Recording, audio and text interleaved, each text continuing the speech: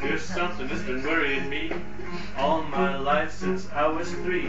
It's something you thought about, no doubt. It's something I just can't find out. You may wonder who built the standing stones, and the origin of the Sphinx is still unknown. But the mystery I'd like to know is where do all the odd socks go? Cause I go to my bed with the two socks on and I wake in the morning and one is gone. Somebody tell me I have to know where do all the odd socks go? Where do all the odd socks go? That's a wee refrain there. Look under the bed, between the sheets, everywhere I could have possibly put my feet. I turn my bedroom upside down, but nowhere can that wayward sock be found. So I'd go to the drawer to get another pair. There's another hundred odd socks in there.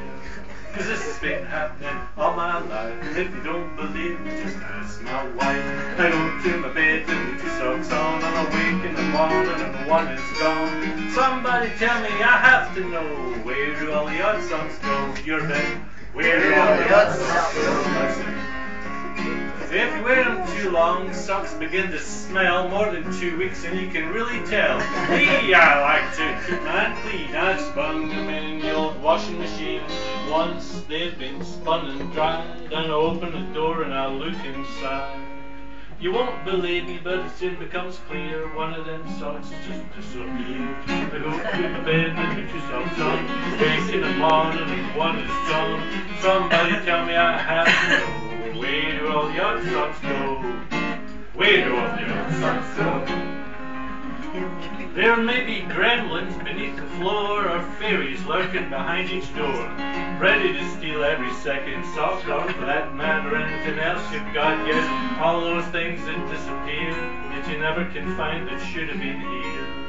They've all gone to join my woolly foes in that secret place nobody knows. I go to my bed and make socks on, wake in the morning and one is gone. Oh, somebody tell me I have to know. Where do all the odd socks go?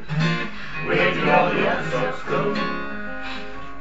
So if you see me walking down the street one day with two odd socks, don't whisper and say, There goes John, he's a sad poor fellow, with one sock red and the other yellow. But I found the answer to this conundrum, and it is not that of actually fun done. But in the future I'll have it made, cause I'm buying my socks all the same shade. I go to a and put your socks on, wake in the morning and one is gone. Somebody tell me I have to know, where do all the odd socks go? Where do all the odd socks go?